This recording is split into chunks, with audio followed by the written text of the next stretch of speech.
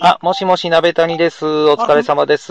あ、聞こえた聞こえた。よはいはいはい、お疲れさん。風の状況いかがでしょうか、えーとねはい。風向きが、風向きがね、はいえーえー昨日の予報に反してというか、まあ、あの、未だに南寄りの風がずっと吹いてるんで、はいはいここだけ違うけど、あとはほぼ予想通りかな。なるほど。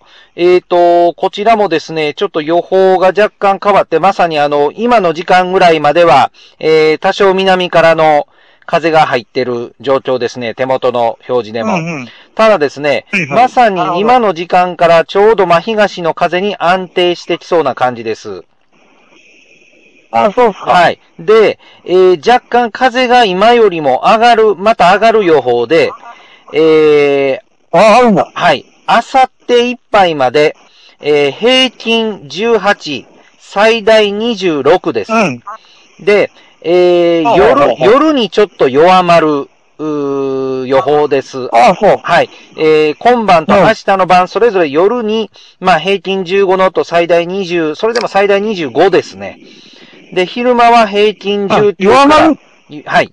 なるほど。弱まるって言ったら別に10度と以下に落ちるっていう感じじゃないいう予報はしばらく出てないです。ただ、えー、そちらのですね、えーしあさって、そちらの火曜日、はいはい。えー、3はい日後、はいはいはい3日後以降はですね、もう辛坊さんのいる海域も、あの、もうものすごい範囲で、全体的に風が落ちる、もうほぼ風がない状態が2日から3日続きます。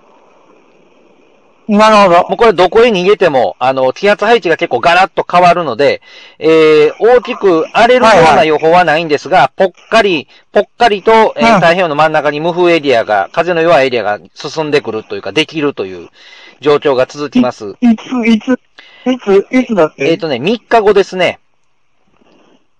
?3 日後。はい。まあ、また、あの、多分、こっちで何曜日だえーえーとね、こっちがちょっと何曜日かわかんないですが、そちらの、えー火曜日、えーごめんなさい、そちらの水曜日。そちらの海域の、はい、28日水曜日の、まあ、明け方ぐらいから風が落ちる、ほぼなくなってくるという予報なんですが、まあ、なるほどなる2、ほど3日でま了た。吹き始めると。で、えっ、と、辛坊さん、さ先々なんですが、ちょうど辛坊さんの今の緯度で言いますと、えー、統計150度ぐらいから、統計はいはい150度のところがね、ちょうど、なんていうんですかね、あの、日本近海の台風並びに低気圧がこう、えー、えー北東側にぐーっと斜め右に曲がっていくちょうど、なんていうんですかね、こう、曲がり角みたいなところなんですよ。はいはいはいちょはい。ちょうどはい北緯20度のラインで、フィリピンの方からずーっと真東へ進んできた低気圧が発達しながらちょうど統計はい150度ぐらいのあたりから右斜め上、えー北東方向にぐーっと日本列島の方に向けて上がっていくと。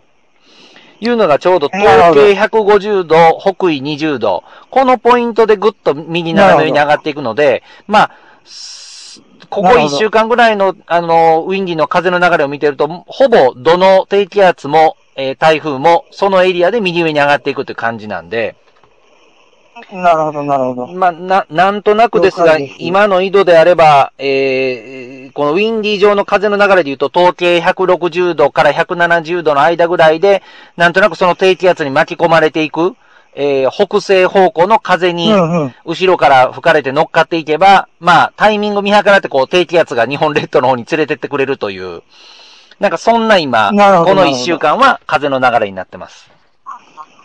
了解です。わかりました。はいじゃあ、とりあえずは、3日ぐらいはこの風で西行くしかないってことだあな。そうですね、そうですね。まさにそうです。